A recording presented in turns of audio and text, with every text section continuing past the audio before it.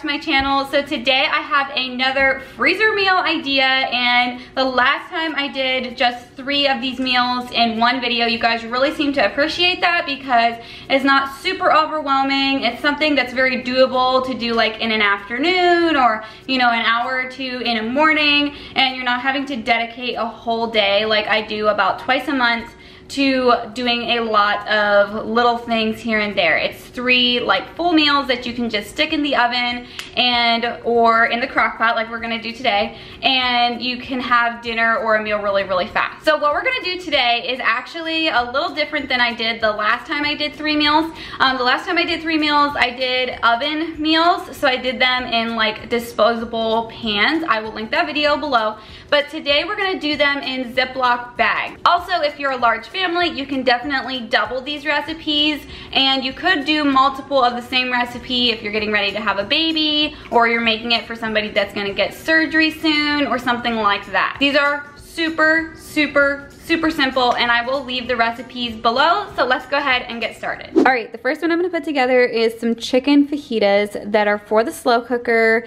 Uh, this all goes into a Ziploc. Like I said, super, super simple. So I have three bell peppers here, preferably not green. I prefer to have like the red, yellow, and orange for the fajitas. You're supposed to have a lime, but I'm gonna use some lemon juice. I don't have a lime right now and I'm just gonna go with the lemon. A nice onion, um, some garlic, and this is the first time, I think in my last video I used these as well, but this is the first time that I've had the peeled garlic, and the only reason I grabbed them is just because they saved me a little bit of time, but it's definitely a lot cheaper to buy just the regular garlic uh, bulbs, so I'll probably just do that the next time. Then the spices that go in it are paprika, chili powder, ground cumin, and red pepper. You could obviously scale back on some of this if you don't want it to be too spicy.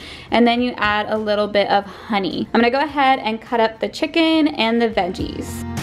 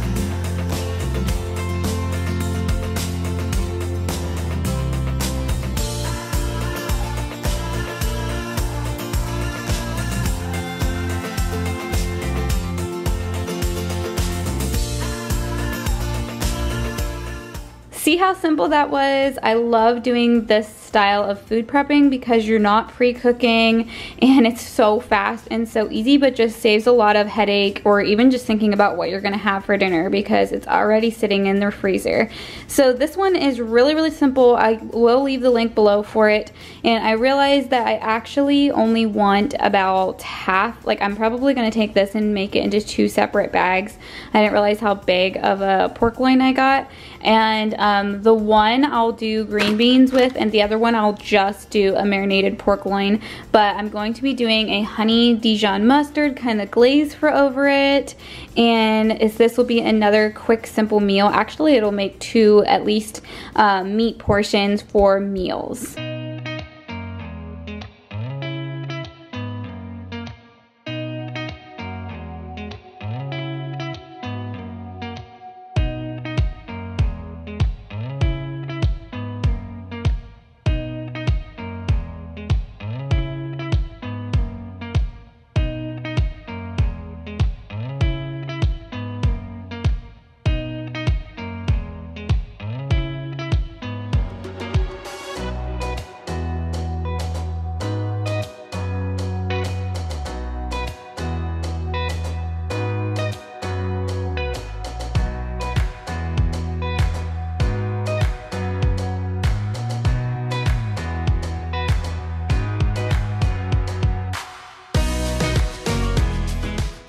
This last one is my own recipe. I think I have a highlight saved on my Instagram account where I explain how I make this. I make it different kind of every time. So I'm gonna tell you how I'm going to make it today. This is my first time doing it as like a freezer meal, but I think it's gonna be really great. It's definitely one of Corey's favorites. So you need a chuck roast. I like to do carrots as well. And then I also like to cut up an onion. So you put all of that in a bag since I'm gonna be doing this in the freezer and not just setting this on top of it, I'm actually gonna cut this stick of butter up. The butter is the key, it's what makes it taste really good. And then I'm gonna put about three tablespoons of this sauce in, some paprika, and some salt. I'm just gonna shake that in and then it will be all ready. And then when I go to make it and dump it all into the crock pot, um, and then I let it sit in for six to eight hours depending on how low your crock pot goes. I will also add probably about a half cup to a cup of water to it as well.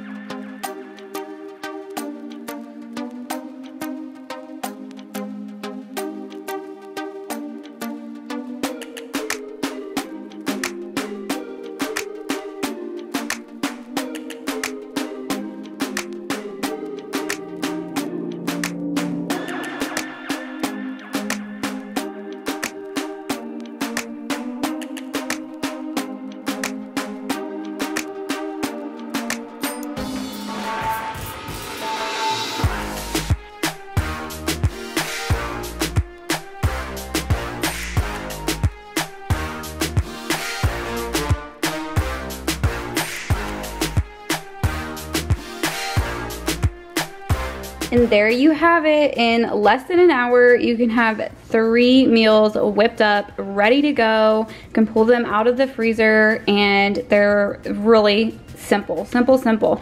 So I would just pop these out, let them sit for a few minutes, then probably like break up the vegetables if they have been kind of frozen together, just so you can get everything out of the bag and put them into the crock pot. Both of these I would do on low for like six to eight hours.